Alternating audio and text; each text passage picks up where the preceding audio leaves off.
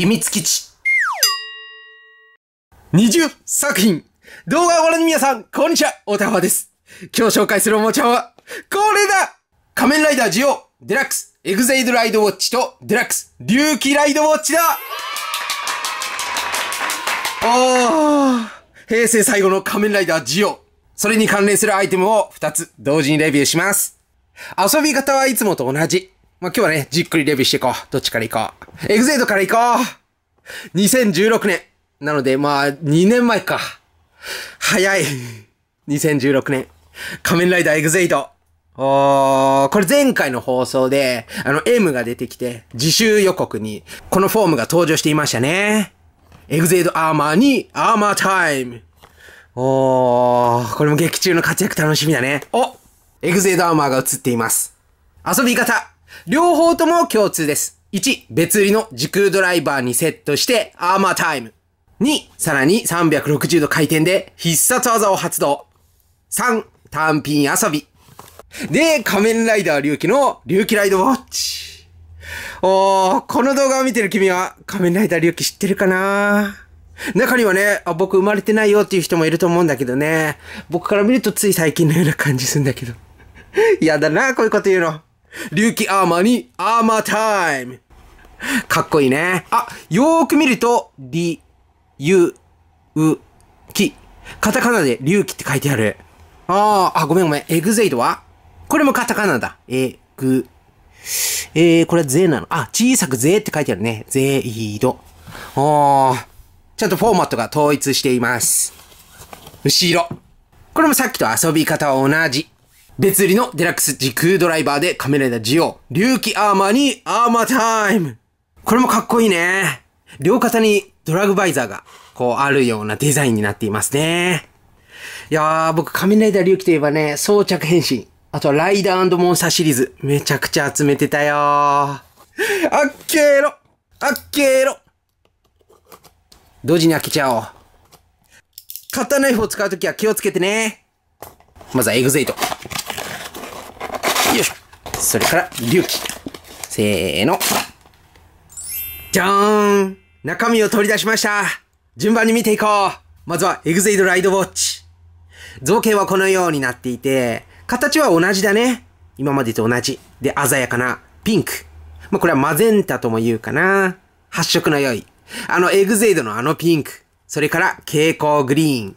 この組み合わせは初めて見たときびっくりしたなとても今では安心感のある色だね。正面の部分はこのようになっていて、ここにエグゼイドのマーク。それから、放、放映開始年月日かな ?2016 年が映っています。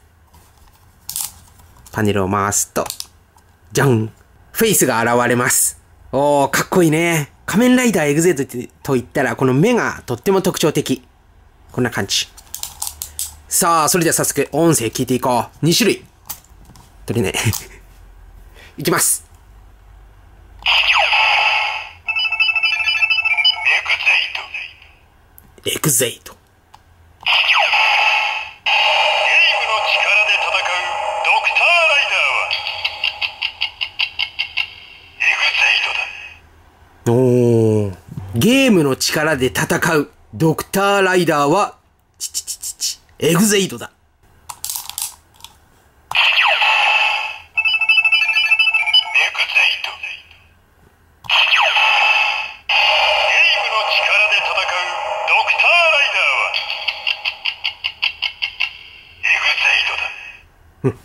エグゼイドライドウォッチはこんな感じ。さあ次。龍騎ライドウォッチ。おー、カラーリングは正面がシルバー。そして裏がレッドだね。ほうほうほうほう。なるほど。このようなカラーリングになっています。これもまた造形は今までと同じだね。パネルの部分を見てみよう。龍騎のマーク。それから放映開始日の年月日。2002年。パネルを回すと、このようになります。おー、龍騎の顔。これも音声を聞いていこう。まずはパネルをこっちにした状態から。これも音声は2種類。鏡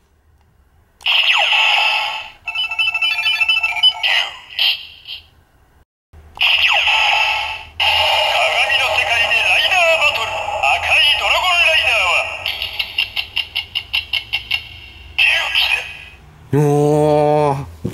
鏡の世界でライダーバトル。赤いドラゴンライダーは、ちちちちち、龍騎だ。鏡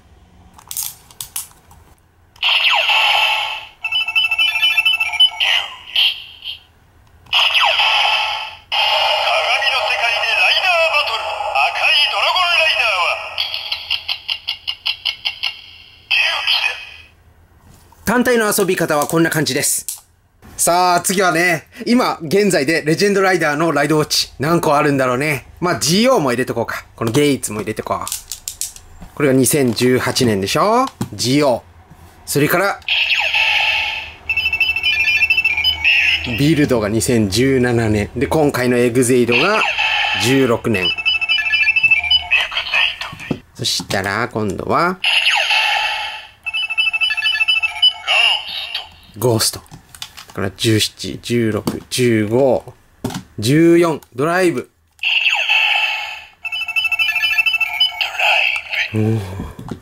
ここ揃ったね、5年分。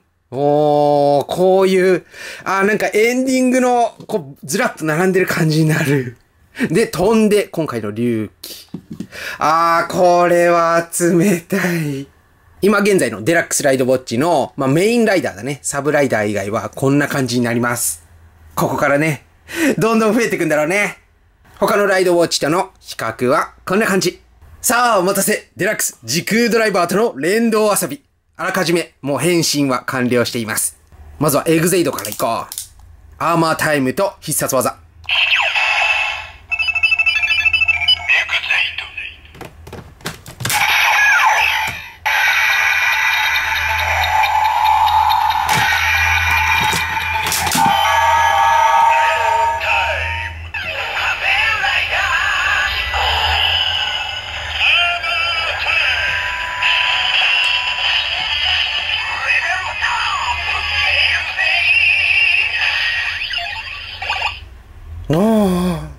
レベルアップ !2016 年、ピンクの LED です。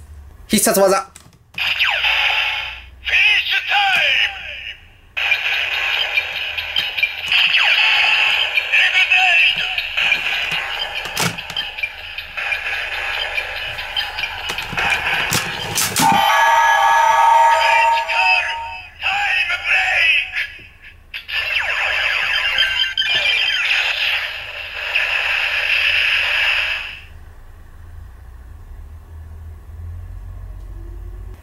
カルタイムブレイクジオライドウォッチとの連動遊びはこんな感じで、同様の遊び方で、今度は仮面ライダーゲイツ。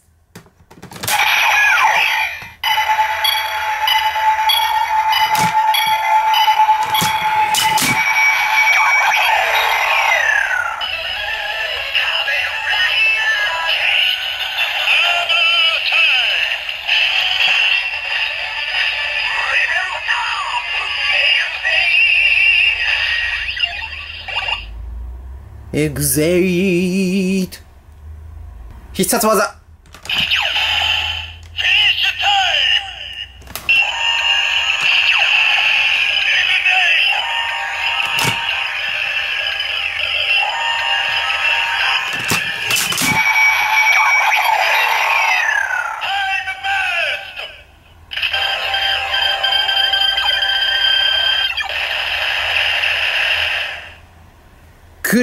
ルタイムバーストエグゼイドライドウォッチはこんな感じ。さあ次、同様の遊び方で今度は竜気ライドウォッチ。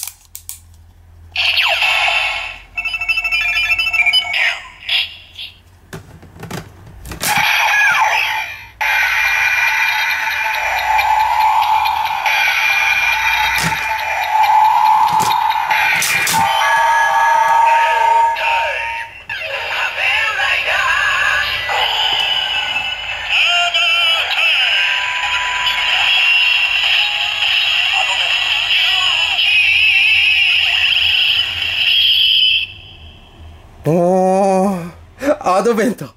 LED はレッド。必殺技。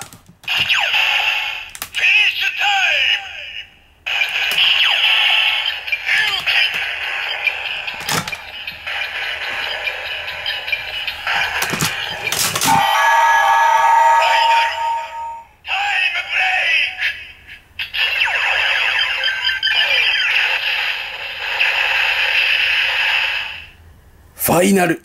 タイムブレイクさあ次、仮面ライダーゲイツのアーマータイム。必殺技。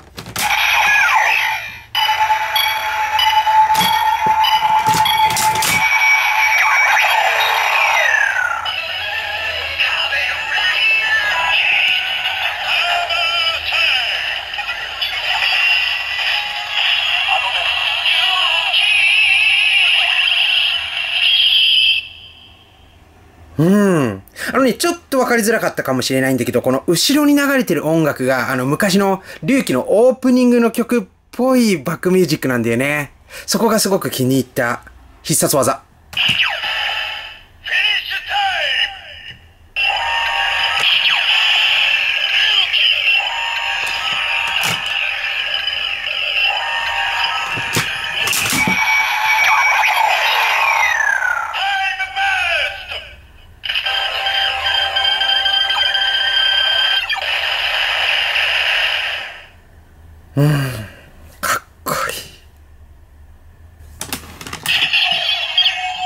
デラックス時空ドライバーとの連動遊びは、こんな感じ。さあ、そして最後はこれ。時間切れードライドウォッチで必殺技、エグゼイドから。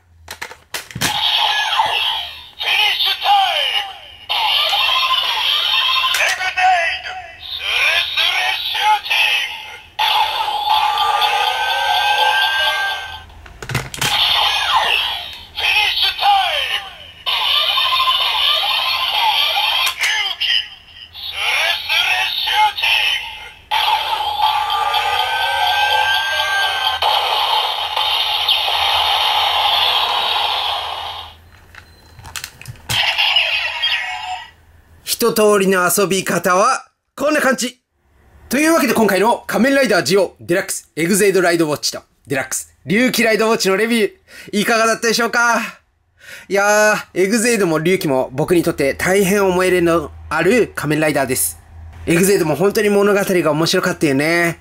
なんかガシャッと初めて音を鳴らした時のことを本当に昨日のように思い出します。あとはね、仮面ライダー龍騎も、あの、冒頭で言った通り、ライダーモンスターシリーズとか、あと装着変身を集めましたね。なんか昨今、こういう仮面ライダーの関連ツールの、あの、アイテムがいっぱい出て、本当に買わさせて、昔のアイテム点数が少なかったのになんて言うけど、いやいや、そんなことない。龍騎の時本当に、あの、集めるの大変だったね。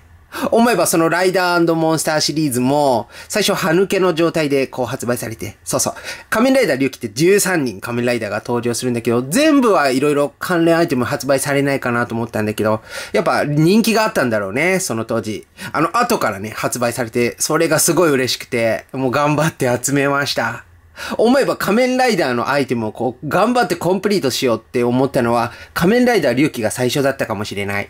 2002年といえばね、その頃ワールドカップがあったり、小泉純一郎さんが首相だったね。あんまり昔話するとちょっと、あれなんだけどね。なんかその頃と変わらず今も仮面ライダーが好きでいることがとても嬉しいです。あ、余談なんだけどごめん。もう一個だけ言わしてほし。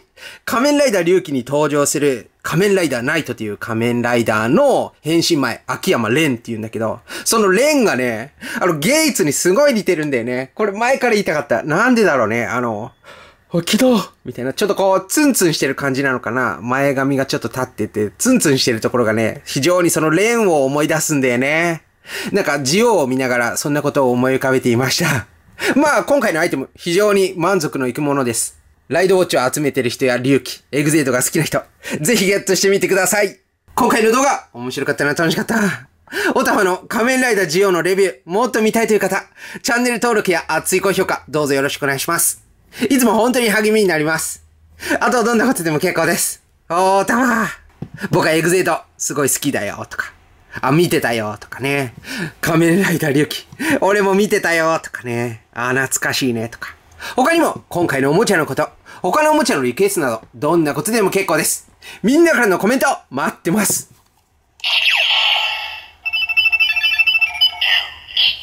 龍騎もいい。エグゼイドエグゼイでもいい。それでは、次の動画でお会いいたしましょう。おたまでした今後この勢いでガンガン発売されるんだろうね。またねー